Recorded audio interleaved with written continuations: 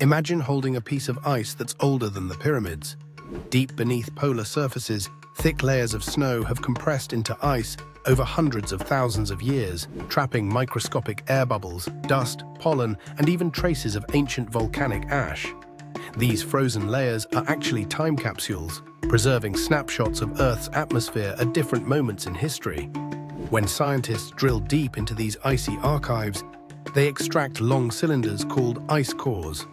Each layer in an ice core acts like a page in a diary, revealing secrets about temperature, greenhouse gases, and events like massive volcanic eruptions.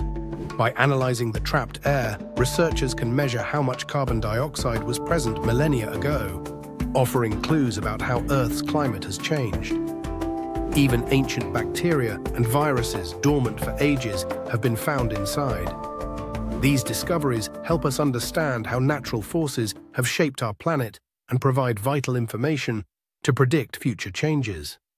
The next time you see a snowflake, remember it's a tiny fragment of Earth's remarkable memory.